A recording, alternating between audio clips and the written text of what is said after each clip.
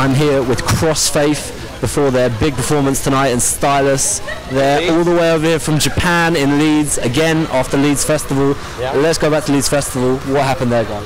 Uh, we played last year uh, yeah, on the main stage, Yeah. and uh, it was raining, but like tons of people came to our set, and uh, it was it was great. It was amazing. Yeah. Like I, I slept on stage. That's fun. and two years ago, we played at Rockout stage, like Yeah. kind of small one, but the crowd, like the was tent was packed and some and, people came. yeah, and So- some some fan uh, bring the brought uh, Japanese flag for us. It was boy- sweet. and the boy. Yeah, it was sweet. There's a lot of fans of your music in England. I mean, where do you think it comes from? We come here a lot.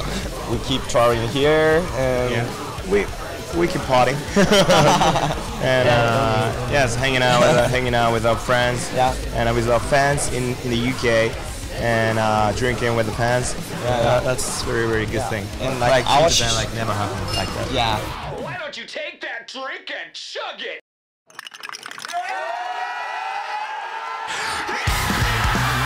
You guys drink a lot.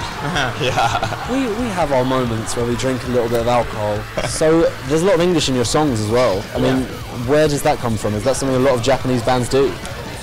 Yeah, and uh, uh, for I think me, his English better. for me, uh, yes, but you know, like on our first album, like uh, which is called The Artistry Story for the Dramatic Beauty, released in 2009.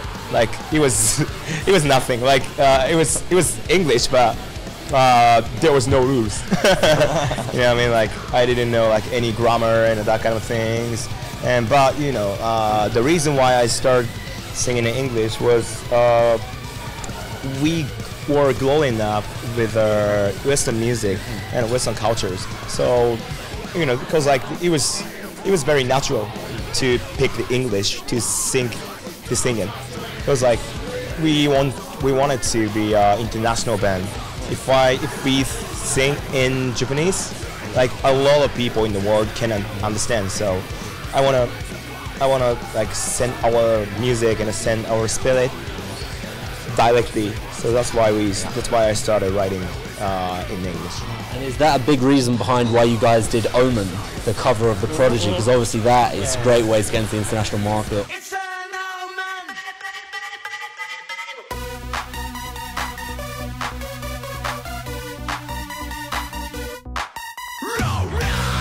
omen. When we play the Omen in the States, like no one can sing. like when we at the Warped tour, you know that called festival, music festival. No one. Like literally no one. A lot of Japanese fans thought Omen is written by Crossfaith. that's crazy, right? Oh, that's I always mention about it. yeah, yeah, yeah. That's the cover.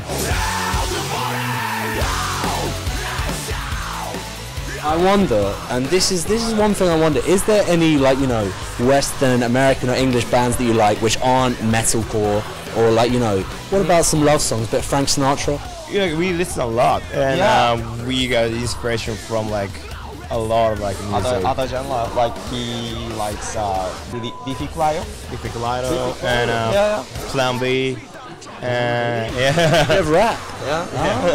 and uh, yeah, it's like a lot, a lot of like, But battles.